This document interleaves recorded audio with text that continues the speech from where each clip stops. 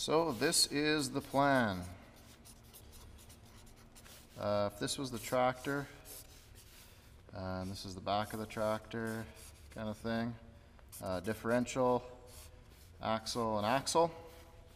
I'm going to put a bevel gear on the end of each axle, second bevel gear on another shaft running to the back of the tractor here. These are going to be my big pods with the screws on them on either side. Screws will be opposite directions. And then on the back of this shaft, there'll be a gear, another gear here with a chain, gear, gear, and a chain. Uh, this is going to give me opposite rotation on both the screws. The way I'm going to steer is I'm going to put a brake disc on each axle. And if I brake one side, it's going to speed the other side up, and that's going to give me my turns. So I'll show you how I'm going to do this. So I'm going to need to build a, a 90 degree gearbox, uh, and I'm going to use these uh, side gears and spider gears from this GM differential. So I'm going to have two spider gears and two side gears.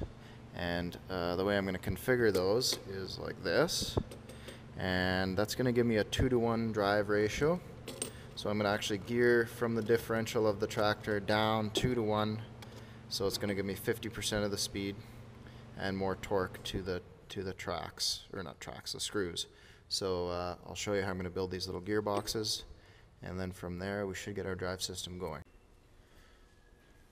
This will be the driven gear. Uh, the larger of the two gears. I need to reduce this down to 3 quarter inch for the shaft that's going to drive the back tracks off a chain. Uh, so I found this bushing, uh, Princess Auto. Um, doesn't quite fit in there, so I'm going to turn this down on the lathe and get it to slide into there.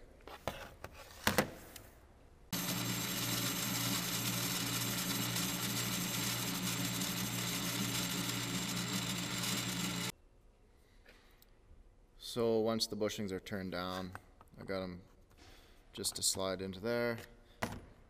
Kind of beat them, press them in. I'm going to weld this along here, and I'm going to weld it along there. That's going to give me my driven gear. This will be the setup for the drive gear. Uh, it's going to be the smaller of the two gears, and I'm going to weld it to this one inch uh, collar because that's going to slide onto the axle of the tractor. I just made this little uh, plastic plug on the lathe that slides in nice and tight into that and then it allows me to slide in nice there. That's going to center everything up. I'm going to squash this in the press, pull the plug out, and then I'm going to weld it along there. Uh, hopefully that's going to be strong enough. Uh, I guess time will tell on that one. So that's going to be the drive gear. Here's one of the output gears uh, installed on the tractor. So it's on the differential. Uh, this is actually going to be one of the disc brakes. Uh, disregard these teeth, I'll probably end up cutting those off or just using them for testing uh, to see how, how much braking force I'm going to need. So that's going to be the drive out of there. You're going to have your other spider gear driving the shaft back to here and then a chain running down to drive the screw. Uh, because one gear is going to be on this side and one gear is going to be on this side, uh, that's going to give me my change in direction. So the screws are going to churn opposite of each other. So uh, eventually there'll be some kind of disc brake setup mounted on here. And I'm going to get the shafts running back, like I was saying, to this uh, screw. So here is the semi-finished product on the uh, drive system. Uh, you can see I have my drive gear mounted to the axle. We have our driven gear mounted to this uh, jack shaft and then I have the chains going down to drive the augers.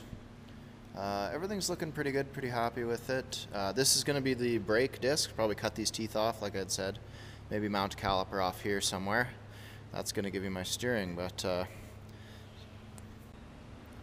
uh, you can see here how the spiders are working. Uh, obviously this is not the best way to do it. I, they're fully exposed for starters with no lubrication, so I'm not sure if they're going to last. I'm hoping to kind of uh, put some kind of box around them with some grease or something, but I'm just going to try it like this to see if it works. There it is.